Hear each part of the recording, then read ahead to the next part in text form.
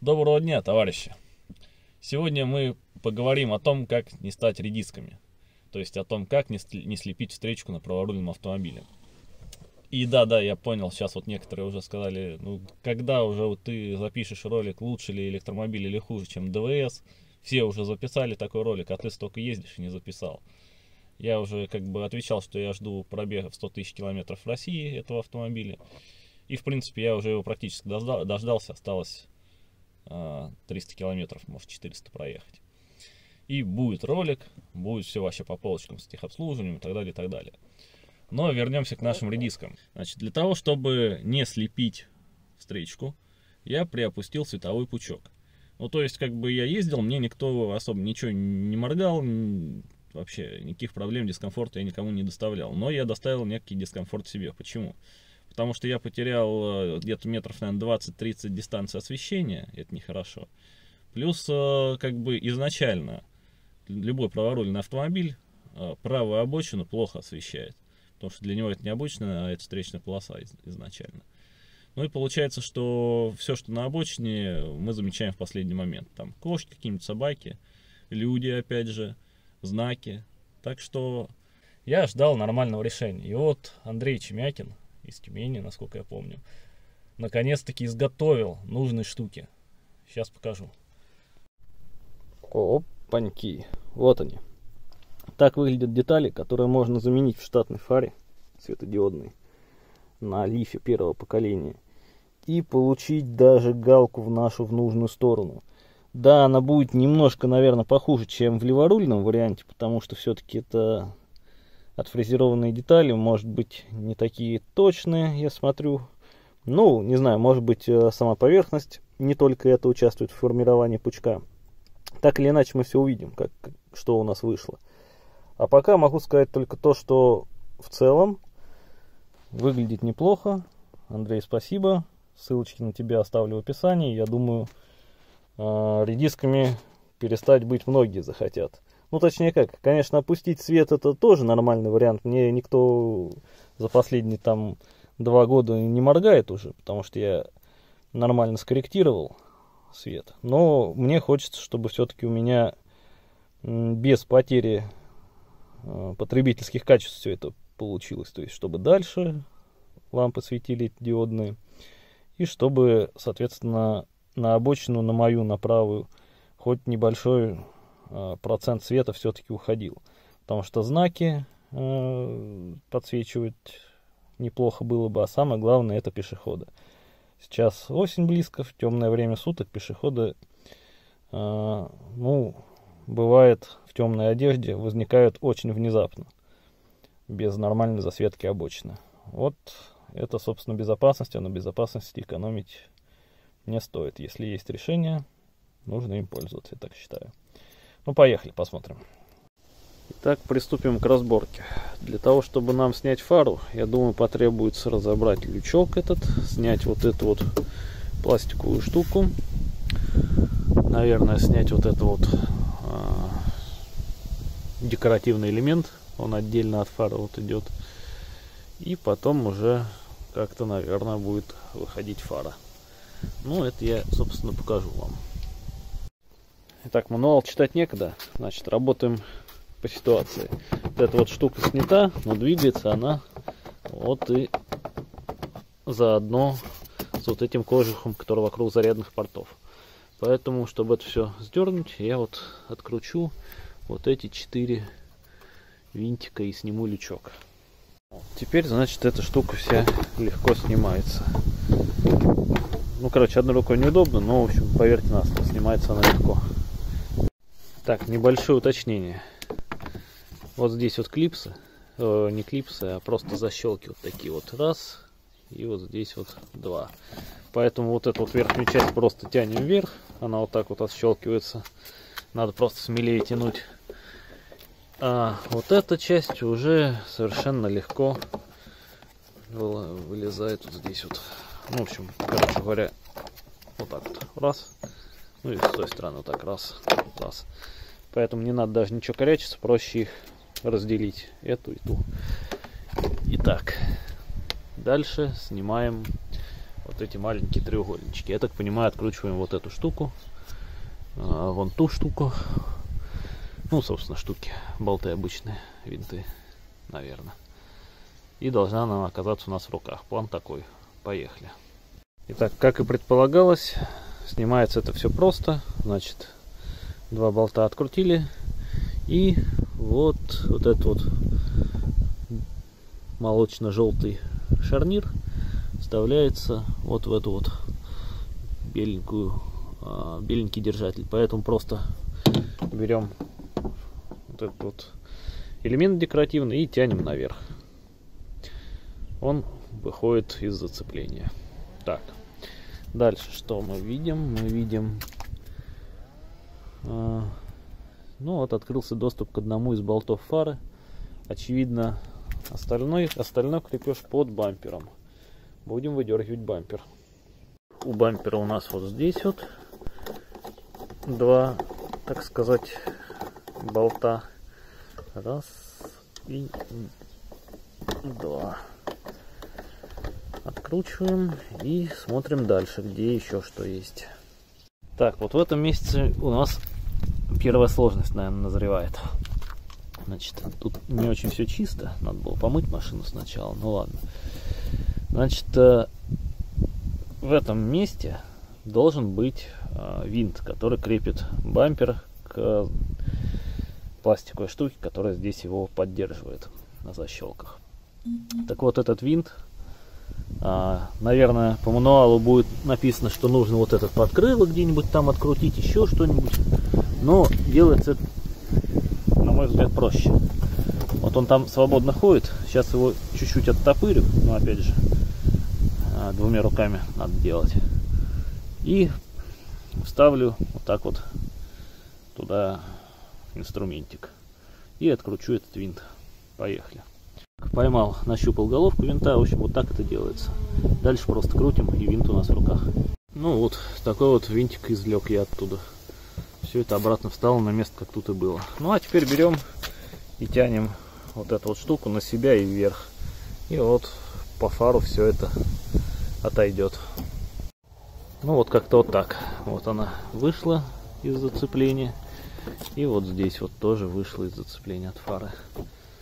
Вот, теперь то же самое с той стороны. И будем оттопыривать. Поскольку у вас вот такой штуки, скорее всего, не будет, это выдвижной э, габарит, так вот, выезжает доп. опция. Поэтому вам будет все это проще сделать. Мне нужно найти еще специальный ключик, которым я, наверное, вот эту вот гаечку должен отвернуть снять колпачок, и только потом у меня бампер отойдет. Эх, блин. Как и предполагалось, вот такой вот элемент держит всю эту штуку. А открутил я это такими вот э, съемник стопорных колец, по-моему, называется. Короче, в принципе, несложно. Вот так вот выглядит э, оттопыренный бампер. И здесь мы видим мы видим, мы видим, вот я думаю, вот это вот есть недостающее крепление фары. Сейчас попробуем открутить. Раз, значит, с этой стороны, с этой стороны два. И, соответственно, три вот здесь под декоративным элементом. Так, оказалось, что фара всего на трех винтах крепится. Раз, два, а, 3 открутил. И теперь просто, просто, просто вот эти вот разъемы отсоединяем. Раз разъем и два разъема с корректора. Вот с корректора снялся легко. А это у нас что? Это у нас, соответственно, основной свет. Где у него там снизу у него язычок. Ну, короче говоря, двумя руками надо. И потом, когда этот разъем отсоединили, фара просто берется и поднимается. И уносится куда-то в теплое чистое место для того, чтобы дальше продолжить разборку. Поехали. Ну вот как-то так это все выглядит. Разобранный автомобильчик. На всякий случай сниму. Может быть кому что интересно там будет, где, где что находится. Я, собственно, вот там вот оттуда вот туманочку еще одну вытащил. Точнее, не одну, а обе. А, куплю покруче. Потому что стояли самые дешевые китайские в моей комплектации X. А, не было туманок, к сожалению. Все было, а туманок не было. Вот как-то так. Итак, товарищи, начнем. Вот она фара. Значит, сразу скажу, обязательно подстелить что-то мягкое под фару, иначе все стекло исцарапается, потому что с фары будет неизбежно э, скатываться эти песчинки и попадать между фарой, между стеклом и поверхностью. Стекло пластиковое, естественно, да, стекло пластиковое. Ну, вы меня поняли. Значит, э, еще я продул компрессором по периметру шов, чтобы меньше песка высыпалось. Но он все равно будет высыпаться, это уже проверено. Так, перво-наперво откручиваем, откручиваем вот эту вот штучку. Эта штучка держит наш бампер. Так, раз.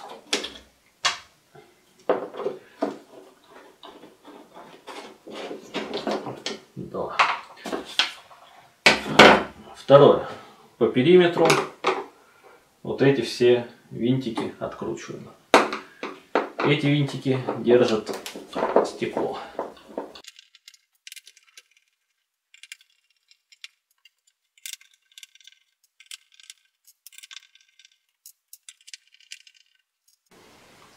Так. Вот открутили винтики. Забыл сказать. Нам потребуется как минимум 4 плоские отвертки. Ну ладно, 3 как минимум три. Значит, э, одна, чтобы отжимать, ну, я покажу, что отжимать, а две, чтобы раздвигать. Вот эти вот защелки держат стекло. Поэтому мы маленькой отверточкой поддеваем вот так вот пластик, он достаточно мягкий. И одновременно сюда вставляем большую отвертку и отодвигаем его. Ну, сейчас увидите.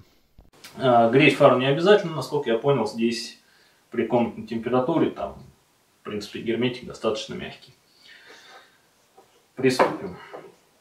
Теперь нам нужно, собственно, снять стекло.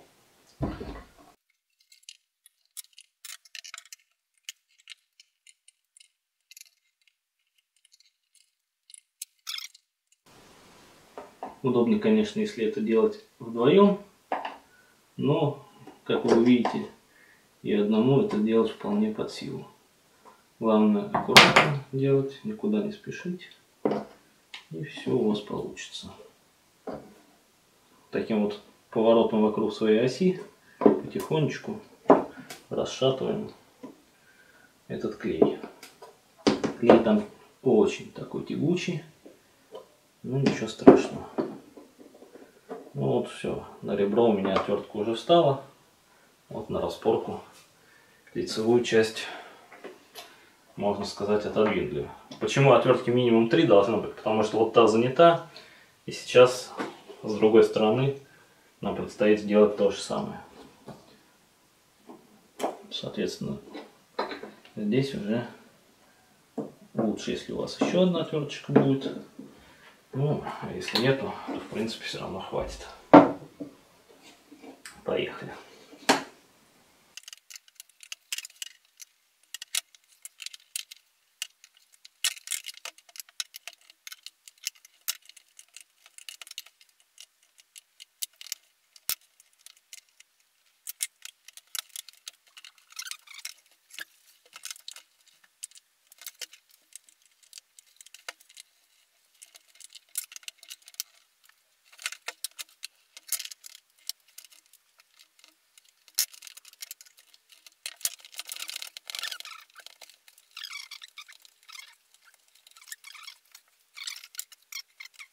Где острый край, здесь лучше в последнюю очередь их открывать, потому что здесь самое такое тяжелое место.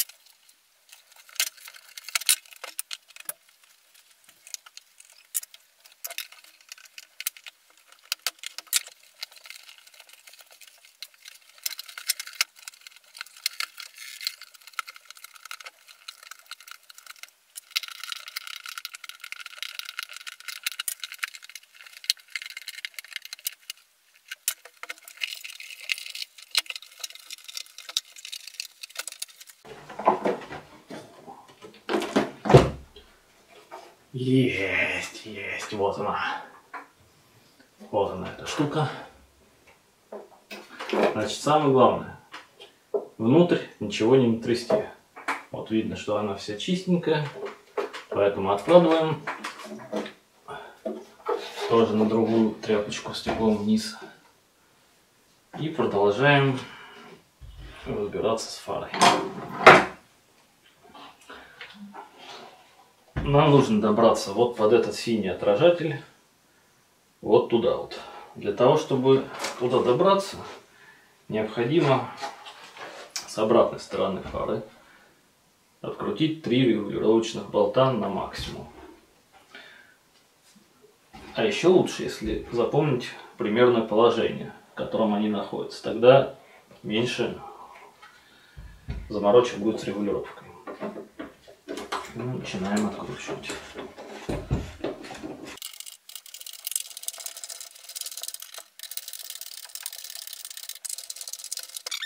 Самое главное, когда достаем эту штуку, не брать за отражатель. Вот она. То есть берем за внутренние поверхности ее. Теперь можно, в принципе, вытащить, отключить лампочки. Я отключаю дальнего света лампочку разъем. И я отключаю, я просто вытаскиваю габарит целиком. От светодиодных, а, как бы, светодиодные все коннекторы отсоединять я вам не рекомендую. Они нам, в принципе, никак не мешают. Дальше, вот он нижний отражатель. Это отражатель ближнего, нет. Нижний это отражатель дальнего света. Соответственно, белый.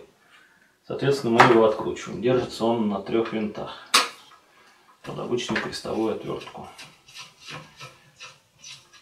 Почему мы его откручиваем? Потому что он нам мешает снять синий отражатель именно нашего светодиодного света, который мы будем дорабатывать. Все, вот, значит, три винта открутил я. Я сказал, открутил. Открутил. Он у меня в руках. Это наш дальний свет. Вот, вот так выглядит наш дальний свет. Вот так вот. Вот так выглядит наша, наша, значит, штука, с которой мы работать будем дальше. Вот у нее по контуру крепеж.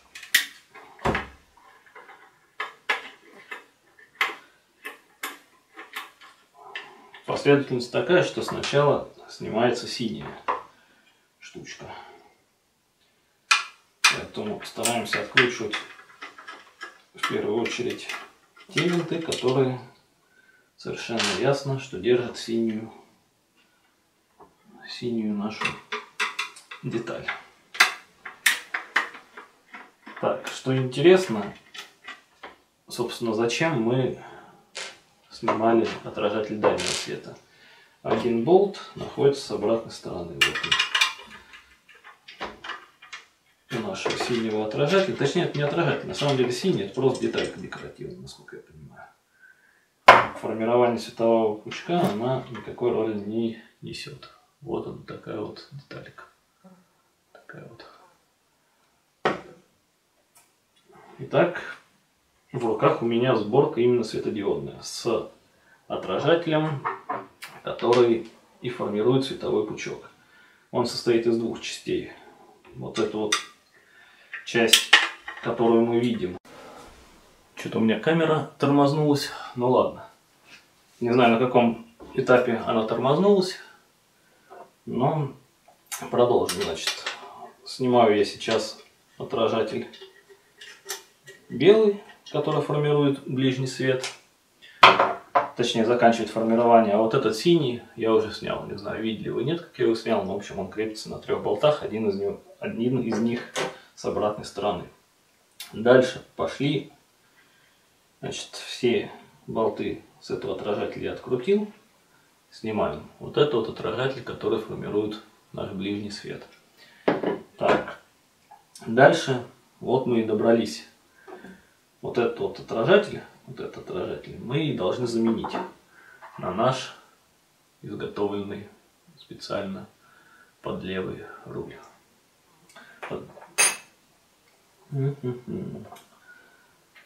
Вот здесь, чтобы его открутить, вам нужна очень хорошая отвертка, потому что у меня они затянуты сильно. И если вы сорвете головку, будет очень и очень неприятно. Слышно, как они со щелчком откручиваются. Там, наверное, даже резьбовой герметик применен, судя по цвету этих болтиков.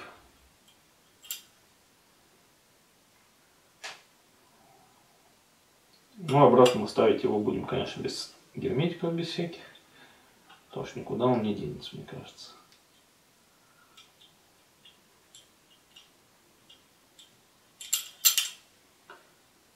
Так, все, детальку мы снимаем. Вот эту детальку снимаем. Вот, и ставим на ее место ту, которую, ту, ради чего мы, собственно, и все это затеяли.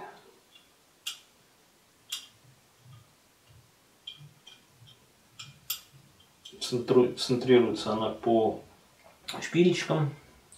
Поэтому все просто. Ну а теперь, собственно, собираем все в обратной последовательности. Не забываем воткнуть два разъема, которых мы, которые мы отключили.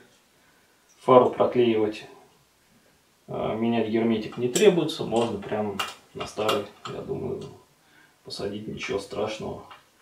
Никакого криминала в этом нету. Ну и наслаждаемся тем, что мы теперь никого не слепим, что у нас теперь все отлично. Хотя, конечно, надо сходить проверить. Это еще не точно.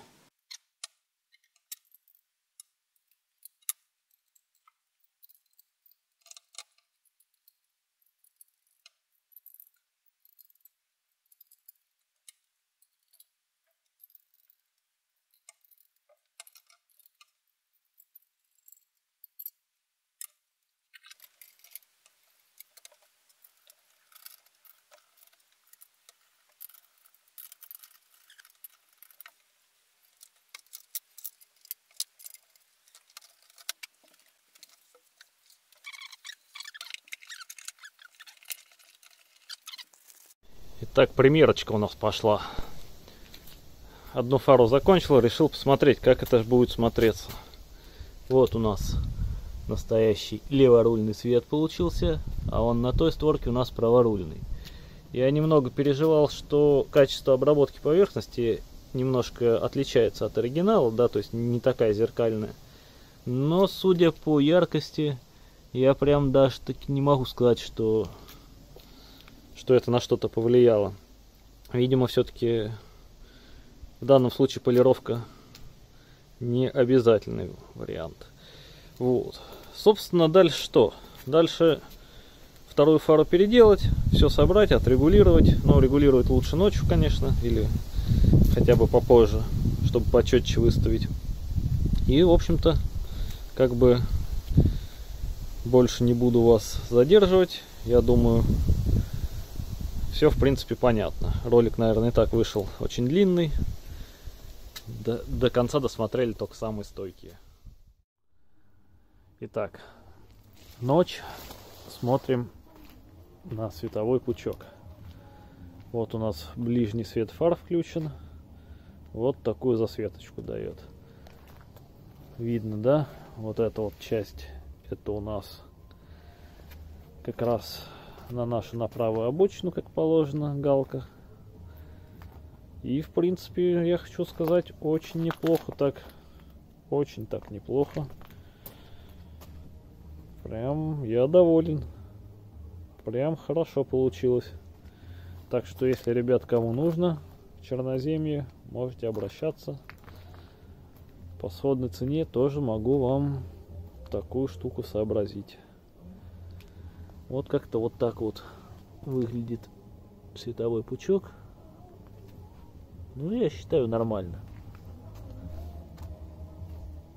В любом случае, Теперь мы встречку никак не будем слепить. Все по ГОСТу, как говорится. Так что всем пока, до новых встреч.